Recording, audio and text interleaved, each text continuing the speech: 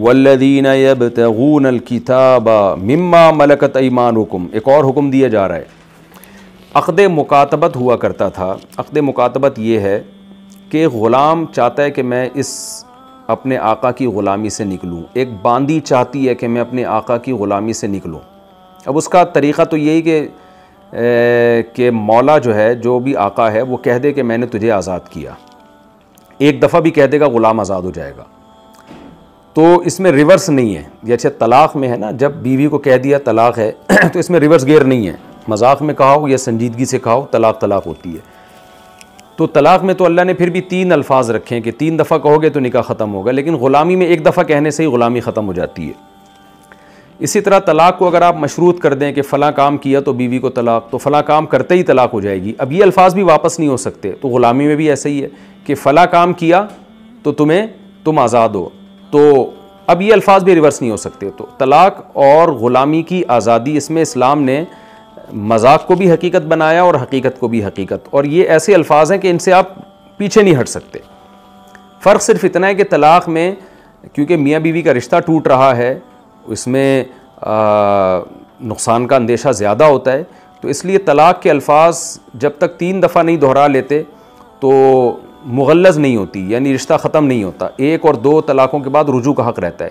لیکن غلام کو آزاد کرنے میں چونکہ انسانیت کا بھلا ہے، فائدہ ہے غلام پر احسان ہے، تو اس میں شریعت نے تین الفاظ نہیں رکھے۔ ایک دفعہ بھی بول دیا تو ہو جائے گا وہ۔ پھر دوسری بات یہ کہ طلاق میں ایک طلاق کا طریقہ ہوتا ہے خلا۔ خلا کا مطلب بیوی سے ایگریمنٹ کر لیا کہ بھئی تم مجھے اتنے پیسے دے دو تو تم آزاد ہو۔ تو عورت جب اتنے پیسے دے گی تو وہ آزاد ہو جائے گی، جس کو خلا کہا جاتا ہے کہ قرآن میں سورہ بقرہ میں میں نے ڈیٹیل سے بتایا نا وہ فلاں جناح علیہ معافی مفتدت بھی عورت جو فدیہ دے کے اپنی جان چھوڑاتی ہے، تو مرد اگر اس فدیے کو قبول کر لیتا ہے، تو بھی نکاح دونوں کے درمیان ختم ہو جائے گا۔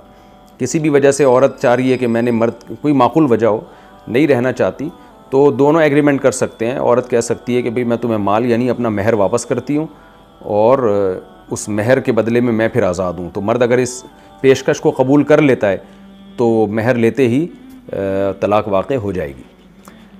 غلاموں میں یہ ہوتا تھا کہ بعض دفعہ مولا کو پیسوں کی ضرورت ہوتی ہے۔ اب غلام جو بھی کماتا ہے نا، وہ اس کے مولا ہی کا ہوتا ہے۔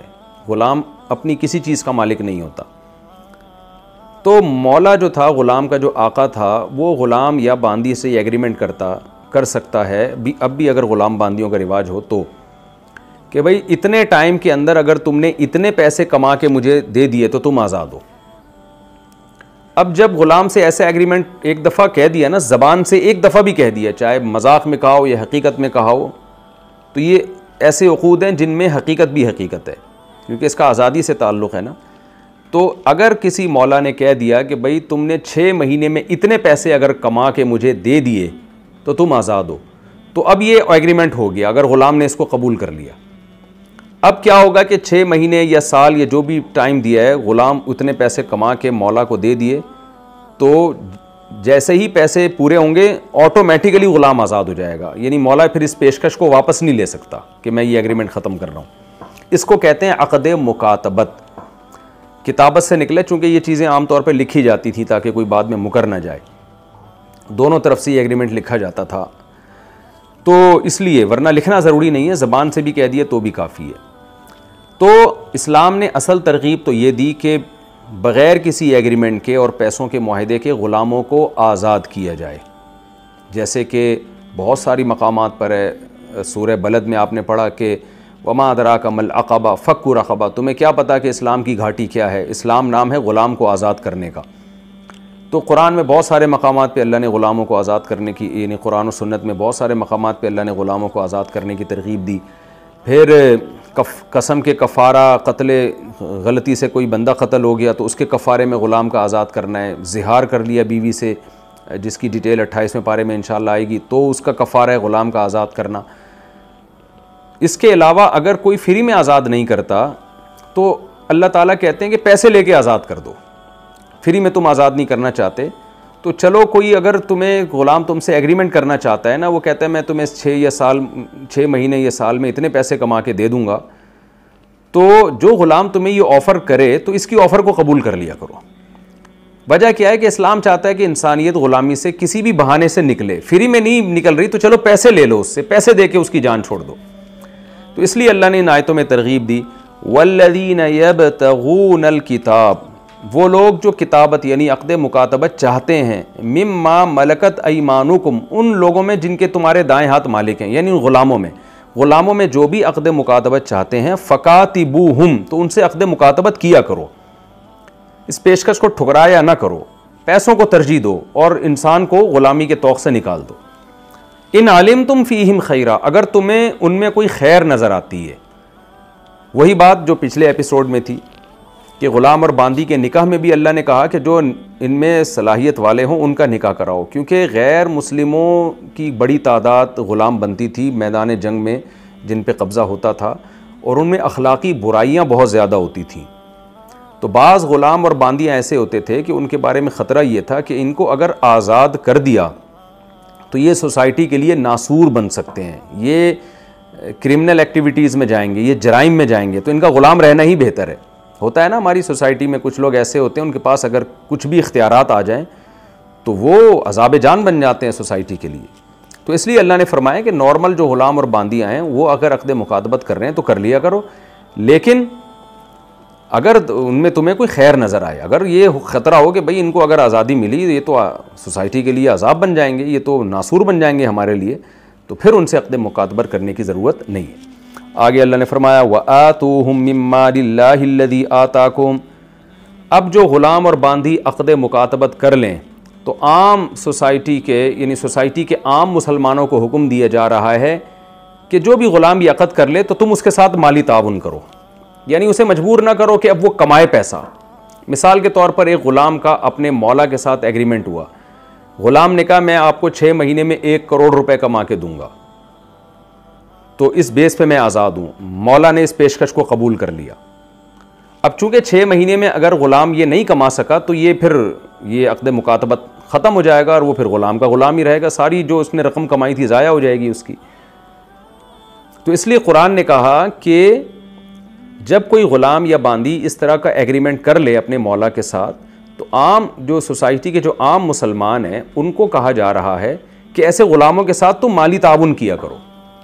این ممکن ہے وہ نہ کما سکے بھائی۔ اس کی چھ مہینے کی اسٹرگل ضائع ہو جائے گی اور وہ اور زیادہ مصیبت میں پھنس جائے گا کہ میں نے چھ مہینے اتنی محنت کر کے کمایا اور مزے مولا کے ہو گئے، نہ میں آزاد ہوا اور مولا کو پیسے بھی مل گئے۔ پورے نہیں ملے، اس لیے آزاد نہیں ہوا اور جو میری محنت تھی سارا فائدہ مولا نے اٹھایا اس کا۔ تو اس لیے اللہ تعالیٰ عام مسلمانوں کو ترغیب دے رہے ہیں کہ ایک کوئی غلام اگر آزادی چاہتا ہے اور اس کے لیے وہ سیریس ہے، سنجیدہ ہے اور پیسہ کما رہا ہے، تو کچھ تو وہ کمائے گا، لیکن تم بھی اس کے ساتھ تعاون کرو۔ اس لیے اللہ نے فرمایا آتو ایسے غلاموں کو مال دیا کرو مم مال اللہ الدیب وہ اللہ کا مال جو اللہ نے تمہیں دیا ہے۔ یعنی یہ نہ سوچو کہ میں اپنا پیسہ کسی غلام کی آزادی میں کیوں لگاؤں، بھائی، یہ تو میرا پیسہ ہے۔ تو اللہ کہتا ہے، تمہارا کہاں ہے؟ یہ تو اللہ کا مال ہے جو اللہ نے تمہیں دیا ہے۔ تو کسی کو اللہ نے غلام بنا دیا، کسی کو طاقتور بنا دیا، کسی کو غریب بنا دیا، کسی کو امیر بنا دیا، تو جس کو امیر بنایا، اس کا پیسہ تھوڑی ہے، یہ بھی تو اللہ نے دیا ہے۔ تو اس لیے تم ان غریبوں کے ساتھ اور ان غلاموں کے ساتھ تعاون کر لیا کرو تاکہ ان کو آزادی میں مدد ملے۔ اور اس میں ایک لحاظ سے مولا کو بھی ترغیب ہے کہ اگر تمہارا غلام تم نے معاہدہ کیا، فار ایگزامپل ایک کروڑ روپے کا کہ جی ایک سال میں ایک کروڑ کما کے دینے ہیں، وہ نہیں کما پا رہا تو تم بھی تعاون کرو نا، اپنا کچھ حصہ چھوڑ دو۔ کیونکہ یہ مال تم میں، تمہیں جو اللہ نے مال دیا ہے، جس کی وجہ سے تم نے غلام اور باندیاں رکھی بھی تو اللہ کا مال ہے۔ تو اس کے ساتھ تعاون کرو۔ اس کے ساتھ کچھ حصہ چھوڑ دو۔ یہی تمہارا اس کے ساتھ مالی تعاون کہلائے گا۔ اور اگر وہ نہیں کرتا تو عام مسلمان جو ہیں، عام مسلمان تاجر، وہ غلاموں کے ساتھ تعاون کریں ان کی، ان کو غلامی سے نکالنے کے لیے۔ آپ سوچئے جنگی قیدیوں کے ساتھ کتنا زبردست حسن سلوک کا قرآن حکم دے رہا ہے۔ تو آج غیر مسلم صرف ایک پہلو کو لے کے بیٹھ گئے ہیں کہ اسلام میں غلام باندیوں کا رواج ہے۔ جو اسلام نے غلام باندیوں کو اس زمانے میں حقوق دیا آج کی دنیا اس کا تصور نہیں کر سکتی۔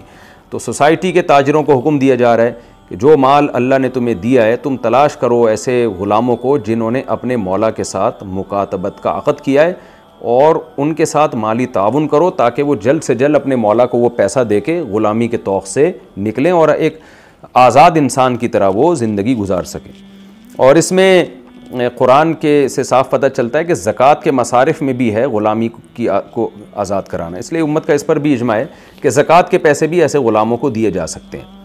یعنی اصولی طور پر تو غلام کو آپ زکوٰۃ نہیں دے سکتے۔ اس لیے کہ جو پیسہ آپ غلام کو دیں گے، اصل میں اس پیسے کا مالک اس کا آقا ہوگا، مولا ہوگا۔ تو گویا کہ جو آپ غلام کو دے رہے ہیں، وہ اس کے مولا کو دے رہے ہیں۔ تو مولا اگر مالدار ہے تو اس کو زکوٰۃ نہیں لگتی۔ لیکن جو غلام عقد مکاتبت کر لینا اپنے مولا سے آزادی کے لیے، تو پھر اس کے ساتھ زکوٰۃ کے ذریعے مالی تعاون کرنا جائز ہے، بلکہ باعث ترغیب ہے۔ آگے اللہ تعالیٰ کے ارشاد ہے، ولا تکریہ فتحاتکم علی البغاء ان اردنا تحصنا اور مت مجبور کرو اپنی باندیوں کو۔ فتحات میں اس کی تفسیر ترجمے میں اس کی ڈیٹیل بتا چکا ہوں۔ اپنی باندیوں کو مجبور مت کرو علی البغاء زنا پر۔ ان اردنا اگر وہ ارادہ کرتی ہیں، چاہتی ہیں تحصنا بچنا۔ لتب تغو عرض الحیات دنیا تاکہ تم دنیا کی زندگی کا کچھ سامان حاصل کر لو۔ ہوتا یہ تھا عبداللہ بن ابئی جیسا بدبخت منافق اور اور بھی اس کے گروپ کے کچھ لوگ ایسے تھے جو اوپر اوپر سے اسلام لائے تھے، اندر سے وہ کافر تھے۔ حرکتیں ان کی وہی غیر مسلموں والی تھیں۔ تو وہ اپنی باندیوں کو باقاعدہ کرائے پہ دیتے اور ان سے زنا کرواتے اور جو پیسہ آتا وہ کھاتے تھے۔ تو قرآن جب حکم دیتا ہے نا اہل اسلام کو، تو وہ تمام لوگ داخل ہوتے ہیں اس میں جو ظاہراً مسلمان ہو چاہے حقیقت میں ہو یا نہ ہو۔ بہت دفعہ قرآن میں ایسا ہوا ہے کہ قرآن نے منافق کو بھی اہل اسلام سے تعبیر کیا ہے۔ وجہ اس کی ہے کہ ظاہری طور پر وہ مسلم ہی سمجھے جاتے تھے۔ اس کی مثال ایسے جیسے آپ کی سوسائٹی میں کچھ لوگ ایسے ہیں جو ملک سے محبت کرتے ہیں، کچھ لوگ ایسے ہیں جو کنٹری کے وجود ہی کو نہیں مانتے۔ لیکن جب کوئی سرکاری حکم نامہ آتا ہے نا، تو خطاب جو کیا جاتا ہے، وہ اسی طرح سے خطاب کیا جاتا ہے کہ بھائی جتنے بھی پاکستانی ہیں یا جتنے بھی انڈین ہیں، ان کو خطاب کیا جا رہا ہے۔ حالانکہ وہ پاکستانی ہوتے نہیں ہیں دل سے، یا وہ انڈین دل سے ہوتے نہیں ہیں، وہ ملک کی بغاوت کے قائل ہوتے ہیں۔ لیکن خطاب جب کیا جاتا ہے نا، ایک آرڈر دیا جاتا ہے، تو ایسے الفاظ سے خطاب کیا جاتا ہے جو ظاہری لحاظ سے سب پہ منطبق ہو رہا ہو۔ تو قرآن میں بعض آیتیں نازل ہوئی ہیں، ان میں خطاب تو عام مسلمانوں کو ہے، لیکن اس سے مراد منافق ہیں۔ تو عام مسلمانوں کے اس لیے کہ صورتاً وہ بھی مسلمان تھے نا، تو اس سوسائٹی کا حصہ سمجھے جاتے تھے، مسلم کمیونٹی کا حصہ سمجھے جاتے تھے۔ تو حکم دیا جاتا تھا کہ اے اہل اسلام، تم یہ کام مت کرو۔ تو یعنی انداز اللہ تعالیٰ کا یہ ہوتا تھا۔ تو یہاں بھی یہی ہے کہ اللہ نے تمام مسلمانوں کو خطاب کیا کہ تم اپنی باندیوں کو زنا پہ مجبور مت کیا کرو، دنیا کے چند ٹکوں کی خاطر۔ جبکہ وہ بچنا بھی چاہتی ہیں۔ تو یہ عبداللہ بن ابئی منافق صحیح حدیث میں، روایات میں ہے کہ یہ اس طرح کے کام کیا کرتا تھا۔ وہ باندیاں تھیں مجبور۔ اگر وہ اس زنا پہ آمادہ نہ ہوتی تو نہ وہ بھاگ سکتی تھیں اور نہ اسلامی سوسائٹی، اسلامی حکومت اتنی زیادہ اسٹرانگ ہوئی تھی اس وقت کہ وہ ان باندیوں کو اس ظلم سے بچا سکتے۔ ایک طوفان کھڑا ہونے کا خطرہ تھا۔ تو باندی چونکہ مکمل آقا کے کنٹرول میں ہوتی ہے، تو ان کے دفعیہ کی بھی کوئی صورت نہیں تھی۔ تو پھر قرآن نے منع کیا کہ جس کے بھی نکاح، جس کے بھی ماتحت میں کوئی باندی ہوگی تو وہ اس کو زنا پہ مجبور نہیں کر سکتا۔ خاص طور پر اس صورت میں کہ جب وہ زنا سے بچنا بھی چاہتی ہیں، پھر تو مجبور کرنا اور زیادہ جرم ہے۔ اس آیت کا یہ مطلب ہرگز نہیں ہے کہ اگر وہ زنا سے بچنا نہیں چاہتی تو پھر مجبور کر سکتے ہو، یہ مطلب ہرگز نہیں ہے۔ میں نے بتایا نا، قرآن کی بہت سی آیتیں، جو شرطیں ہوتی ہیں، وہ اتفاقی ہوتی ہیں۔ اتفاقی کا مطلب چونکہ سوسائٹی میں ایسا ہو رہا تھا، اس لیے اللہ نے اس شرط کو ہائی لائٹ کر دیا۔ کہ مسلمان باندھی ہے، وہ کیوں زنا چاہے گی؟ تو مسلمان باندھی تو زنا سے بچنا ہی چاہتی ہے، لہذا اس کو زنا پہ مجبور کرنا زیادہ بڑا جرم ہے۔ ورنہ اصل بات تو یہی ہے کہ کوئی زنا سے بچنا چاہے یا نہ چاہے، پھر بھی آپ زنا کی نہ مجبور کرنا تو دور کی بات، ترغیب بھی نہیں دے سکتے۔ اور لطب تغو رض الحیات دنیا یہ بھی شرط اتفاقی ہے احتراضی نہیں ہے۔ اتفاقی کا مطلب یہ ہے کہ وہ لوگ پیسوں کے لالچ میں یہ کام کر رہے تھے۔ تو اگر کوئی پیسوں کی لالچ میں نہ کر رہا ہو، فری میں بھی کر رہا ہو، تو بھی حرام ہے۔ تو زنا پہ مجبور کرنا یا زنا کی ترغیب دینا یا زنا کی اجازت دینا، یہ تینوں چیزیں بالکل حرام ہیں، فری میں بھی حرام ہیں اور پیسے لے کے بھی حرام ہیں۔ تو چونکہ ایسا ہو رہا تھا کہ منافقین پیسوں کی لالچ میں باندیوں کو مجبور کرتے تھے اور وہ باندیاں زنا سے بچنا چاہتی تھیں، تو اس لیے اللہ نے ان کی کنڈیشن کو بیان کیا۔ اور اصل حکم یہ بیان کرنا تھا کہ جب کوئی عورت اس طرح مجبور ہو کے زنا کرے گی، تو پھر اس پہ گناہ نہیں ہوگا۔ جو اس کو مجبور کرنے والا ہے گناہ گار وہ ہوگا۔ کیونکہ ان بادیوں کو بڑا اشکال ہوتا تھا کہ اللہ نے سورہ نور میں زنا سے متعلق اتنے سخت احکام اللہ تعالیٰ نے بیان کر دیے اور پردے کے اتنے شدید احکام بیان کر دیے، تو اللہ کو ہم پہ کتنا غضب آتا ہوگا۔ دوسری طرف ہم مجبور ہیں۔ مجبوری کے جبر کہتے کس کو ہیں؟ یہ میں بھی ایکسپلین کرتا ہوں انشاءاللہ۔ دوسری طرف ہم مجبور ہیں تو ہمارا کیا بنے گا؟ تو اس پہ اللہ نے ان کو تسلی دے دی۔ پہلے تو اللہ نے روکا، جو زنا پہ مجبور کر رہے ہیں، ان کو روکا کہ یہ کام مت کرو۔ اور پھر ان باندیوں کو تسلی دی۔ اگلی آیت میں، وہ کیا تسلی دی؟ وہ میں ہننا کہ جو بھی ان باندیوں کو مجبور کرے گا فعین اللہ ممبادی اکراہ ہننا تو ان باندیوں کو مجبور کرنے کے بعد اللہ تعالیٰ غفور الرحیم ہے۔ ان کو اللہ معاف کر دے گا اور رحم کرے گا۔ ان سے مواخذہ نہیں ہوگا، مواخذہ ان لوگوں سے ہوگا جو ان کو مجبور کر رہے ہیں۔ تو یہ ہے جبری زنا، کہ جبرن کسی عورت سے زنا کرانا بھی زیادہ بڑا جرم ہے، جبکہ وہ بچنا چاہ رہا ہے، جبر وہیں ہوگا نا جہاں عورت بچنا چاہے گی۔ اس کی رضا سے بھی حرام ہے زنا۔ رضا کے حکام تو اللہ نے پہلے بتا دیے کہ دونوں کو سو سو کوڑے مارو۔ وہ رضا سے ہی ہوا ہے نا، تبھی تو ہے۔ اور جو جبری زنا ہے، اس میں جو جو مجبور ہوگی، اس کو نہ دنیا میں سزا ملے گی، نہ آخرت میں۔ کسی عورت سے کوئی زبردستی زنا کرتا ہے، تو پھر زنا کرنے والے پہ تو کوڑے ہیں یا رجم ہے۔ جس عورت کے ساتھ یہ کام کیا جا رہا ہے، اس پہ نہ کوڑے ہیں، نہ رجم ہے۔ بلکہ گناہ بھی نہیں۔ لیکن یہ خوب سمجھ لیں، اکراہ کہتے کس کو ہیں؟ وہ میں ہننا ہے نا قرآن میں، لا تکری ہو ان کو مجبور مت کرو۔ تو اقراء کو حضرات فقہ نے بڑی ڈیٹیل سے بیان کیا ہے کہ اقراء کی دو قسمیں ہیں، ایک اقراء ہے ملجی اور ایک اقراء ہے غیر ملجی۔ یہ فقہ نے اس لیے ایکسپلین کر دیا کہ آج کے لبرل لوگ نا قرآن کی آیتوں کو غلط لے کے جاتے۔ کچھ چیزیں ایسی ہیں جن پر مفسرین اور تمام فقہا کا اجماع ہو چکا ہے اور حدیث میں آتا ہے، میری امت گمراہی پہ جمع نہیں ہو سکتی۔ تو اجماع قطعی دلیل ہوتی ہے۔ تو قرآن کی آیتوں کی بعض ایسی تفسیریں جس پر پوری امت ہمیشہ سے جمع رہی ہے۔ تو اب ان کوئی نیا اسکالر آ کے ان آیتوں کو توڑ موڑنے کی توڑنے مڑوڑنے کی کوشش کرتا ہے تو اس کی تفسیر نہیں لی جائے گی۔ یہاں اقراہ ملجی مراد ہے۔ اقراء کی دو قسمیں، ایک ملجی اور ایک غیر ملجی ملجی کہتے ہیں جس میں انسان بالکل بے بس ہو جائے۔ اور اس کے اختیار ہی ختم ہو جائے۔ اس کے لیے ناممکن ہو جائے اس برائی سے بچنا۔ اس کو کہتے ہیں ملجی۔ الجا کا معنی ہوتا ہے مجبور کر دینا۔ مجبور کا مطلب اب آپ کے پاس دوسرا آپشن بچتا ہی نہیں ہے۔ تو یہ تین صورتوں میں ہوتا ہے۔ ایک قتل کی دھمکی۔ آپ کو یقین ہے کہ میں نے یہ کام نہیں کیا تو مجھے جان سے مار دیا جائے گا۔ نمبر دو، ضرب شدید۔ بے تحاشا مارا جائے گا مجھے جو میرے لیے ناقابل برداشت ہے۔ تھوڑی بہت ضرب اس میں داخل نہیں ہے۔ تیسری بات ہے حب سے طویل۔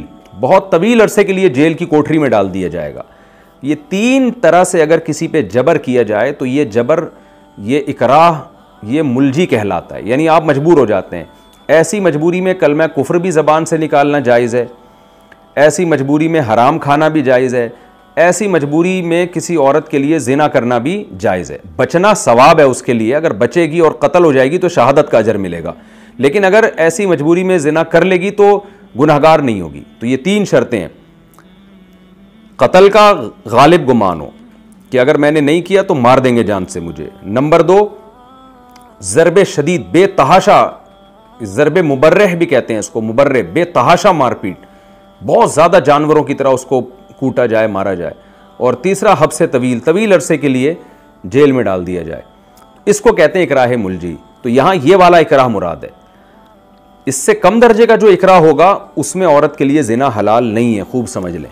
مثال کے طور پر آج کل بے روزگاری ہے، تو بہت سے لوگ عورت کے لیے کہتے ہیں، بیچاری کیا کریں، روزگار نہیں ہے، تو انہوں نے پھر مجبوراً زنا کو پیشہ بنا لیا ہے۔ تو خوب سمجھ لیں، یہ حرام یہ حرام ہے۔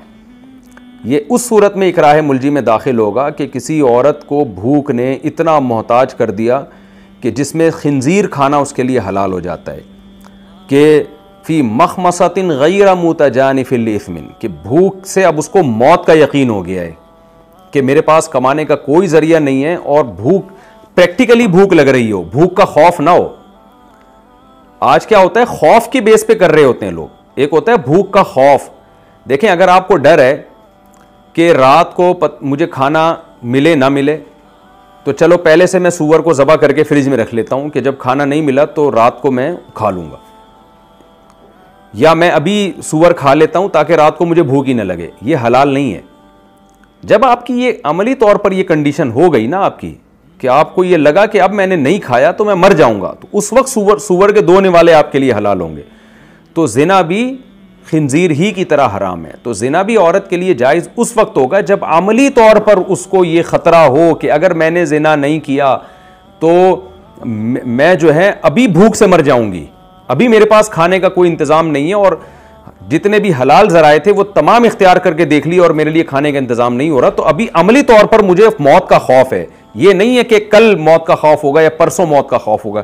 کل کے خوف پہ آج زنا کرنا اس کے لیے حلال نہیں ہوگا۔ تو قتل کا خوف کی وجہ جو ہے نا، قتل کا خوف وہ اکراہ ملجی میں ہے۔ تو موت کا خوف بھی قتل ہی کی طرح ہوتا ہے نا۔ تو اس میں بے روزگار عورتوں کے لیے زنا یہ بالکل حرام ہے۔ اگر کوئی عورت زنا کرے اور دلیل یہ دے کہ جی میں چونکہ بے روزگار تھی، میرے پاس کمانے کا کوئی ذریعہ نہیں تھا، اس لیے مجبوری میں میں نے زنا کیا ہے۔ تو اسلام کا حکم ہے، اس کو سو کوڑے چوک پہ مارے جائیں گے۔ اگر وہ میرڈ تھی، شادی شدہ تھی، تو اس کو رجم کیا جائے گا۔ ہاں کوئی عورت یہ ثابت کر دے کہ میں بھوک سے مر رہی تھی اور میری یہ کنڈیشن ہو گئی تھی کہ میرے اعصاب ڈھیلے ہو گئے تھے، کھانے کو روٹی نہیں تھی میرے پاس، اور مجھے تھا کہ اگر مجھے ابھی کچھ کھانے کا انتظام نہیں ہوا تو میں مر جاؤں گی یعنی ابھی مر جاؤں گی۔ تو مجھے کسی نے زنا کی آفر کی اور کہا کہ بھائی زنا کرو میرے ساتھ تو میں تمہیں کھلا دوں گا، تمہاری جان بچا لوں گا۔ تو این این اس وقت اس کے لیے گنجائش ہوگی کہ وہ اپنی جان بچائے اور اس بدبخت کے جو ہے، اس کو اپنے اوپر قدرت دے دے۔ اس میں بھی فضیلت تو یہی ہے کہ نہ دے قدرت اور مر جائے وہ۔ تو خودکشی کا گناہ نہیں ملے گا اس کو، بلکہ شہادت کا ثواب ملے گا۔ لیکن جان بچانے کے لیے اس وقت اس کے لیے گنجائش ہوگی۔ تو اس سے ایسا نہ ہو کہ آج کی عورتیں استدلال کرنا شروع کر دیں، کیونکہ بہت سے لوگ طوائفوں اور زانیوں کے بارے میں یہ لاجک پیش کر رہے ہوتے ہیں کہ بیچاریاں کہاں جائیں اور جو ہے آج کل بے روزگاری اتنی ہے تو مجبوراً وہ زنا کو پیشہ بناتی ہیں۔ ٹھیک ہے، ہماری سوسائٹی کا ایک یہ بہت بڑا المیہ ہے، غربت مہنگائی نے قوم کی غریب عورتوں کو مجبور کر دیا زنا پر، لیکن یہ وہ جبر نہیں ہے جس کی وجہ سے زنا حلال ہو جائے ان کے لیے۔ جو اقراء تھا، اس کی میں نے ڈیٹیل بیان کر دی کہ اس سے اقراء ملجی مراد ہے، جس میں کلمہ کفر بھی زبان سے کہنا جائز ہوتا ہے، جس میں خنزیر کھانا بھی جائز ہوتا ہے۔ جس میں شراب پینا بھی جائز ہوتا ہے، جس میں زنا بھی جائز ہو جاتا ہے، یہ وہ ہے جس میں عملی طور پر آپ اپنی جان، اس وقت آپ کو جان کا یقینی خوف ہو کہ ابھی نہیں کیا تو ابھی مر جائیں گے۔ فیوچر کے خوف کی بیس پہ، بے روزگار آدمی کو اس وقت خوف نہیں ہوتا، فیوچر کا خوف ہوتا ہے۔ فیوچر کا خوف یہاں پر معتبر نہیں ہے۔ خوب سمجھ لیں گے۔ دوسرا ہوتا ہے اکراہ غیر ملجی غیر ملجی وہ ہوتا ہے جو ہو تو جبر، لیکن اس نوعیت کا نہ ہو۔ تو اس میں زنا حلال نہیں ہوتا۔ نہ کوئی خنزیر کھانا آپ کے لیے جائز ہوتا ہے۔ اس کی مثال ایسے جیسے کسی نے آپ کے سامنے خنزیر لا کے رکھا اور کہا کہ کھاؤ، آپ نے نہیں کھایا تو دو تھپڑ لگا دی، اس نے کہا کھا بھائی، تو آپ کے لیے تھوڑی جائز ہو جائے گا یہ کھانا۔ ہاں بے تحاشا مارنا پیٹنا شروع کر دے جنگلیوں کی طرح جو ناقابل برداشت ہو جائے، تو پھر ایک الگ بات ہے۔